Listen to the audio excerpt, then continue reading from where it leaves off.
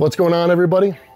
For Animal Pak, I'm Evan Centopani, and today we're gonna go over lean mass nutrition, right? What does that mean? It means you wanna put on some quality muscle without copious amounts of body fat.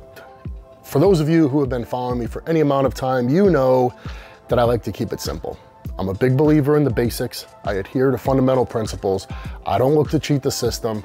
I don't buy into trends, okay? And I don't look for hacks. The current climate on social media is littered with all the above, right? How can you cheat it? How can you incorporate a hack? How can you get away with doing less than really you know is required? if your goal is to get as big and strong as you can be, or if your goal is to get in the shape of your life. It's not gonna come without some serious effort. You need to resign yourself to that fact first and foremost, all right? Just rather than looking to cheat the system, instead of asking yourself, what can I get away without doing? The real question you should be asking yourself is, what more can I do? What else can I do to bring myself closer to my goal? What more can I be doing to be the best that I can absolutely be. That's the attitude, not what can I get away with. Let's delve into the basics. The basics consist of before you even decide, okay, I want to add lean mass, you need to do the most fundamental things well, right? Now I'm talking the bare minimum. One thing that's lost on a lot of people is they have lofty goals. The thing that they fail to embrace is before they're going to accomplish lofty goals, they need to be doing the most fundamental things really well first. What are those things? You need to be getting a good amount of sleep each night, right? Uh, eight hours of sleep is a luxury for a lot of people. They don't have the time. They're working, they need to get up early, they've got kids. I'm in the same boat, all right? But I take a little bit of time each night Maybe I catch half an hour of TV. I like to watch Jeopardy. and then it's lights out. I get to bed. Hydration, all right? Something so, so basic. And you would be shocked how many people, okay? I bet you some of you watching right now are guilty of it. You don't consume enough water throughout the day. Think about that. You have goals, you have aspirations of gaining more muscle, but you're not even covering the most fundamental thing. You've got to do that let's talk diet. All right, again, I keep it simple. I'm a big believer in whole foods. I'm a big believer in supplements as well. Okay, but supplements are there to do just that, to supplement. When it comes to the diet, all right, the whole if it fits your macros things and some of these other gimmicks, uh, whether it's following a carnivore diet, a vegan diet, so on and so forth, I'm not into it. Okay, I strive for balance. I believe that we are omnivores. I believe that we benefit from a variety of different food sources. I do believe that we're meant to consume meat. That's my personal belief. Don't kill me. So I look to the most basic things. I include chicken, fish, steak, whole eggs. Boom, there's my protein sources. When it comes to carbohydrates, I stick really to just rice and potatoes, maybe a little bit of oats. Boom, there's my carb sources. When it comes to fats, I'm getting fats from the whole eggs.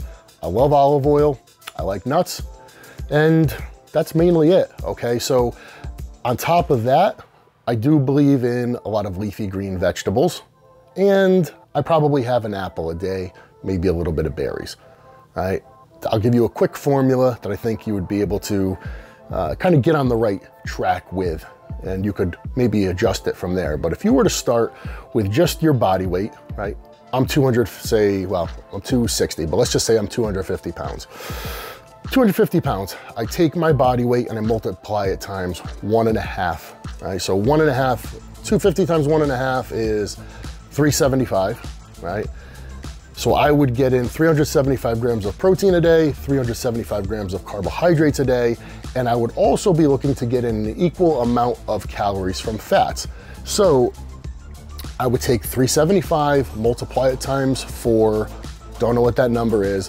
Whatever that comes out to, I would then divide it by nine. And that would give me the number of grams of fats that I would be consuming each day. What that gives me is a one to one to one calorie ratio. Now, I think for most people, that is a really, really great place to start.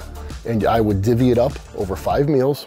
Now, some of you, you know, you have certain jobs. Maybe you're working a manual labor job. You don't have time to sit down and eat a meal. Even if you sit at a desk, you work in an office. You might not be able to pull food out throughout the day and eat. While I do believe that food, um, whole food is first and foremost, that it is the best, the use of uh, meal replacements, protein powders, etc. Nothing wrong with it, okay? If it's, a, if it's the difference between eating or not eating, hitting your macros and not hitting your macros, those should absolutely be utilized. Animal whey, animal meal, they're absolutely your ally, okay, in this. Let's talk supplements while we're on it, right? Animal Pak, massively important foundational product. You're gonna cover the bases, your micronutrients, your vitamins, your minerals. Animal Omega, gonna hit cover the bases for your essential fatty acids. Outside of that, if you know joints are feeling a little beat up, Animal Flex, great product. People ask me all the all the time if I was gonna use one product in the gym, what would I use? Now,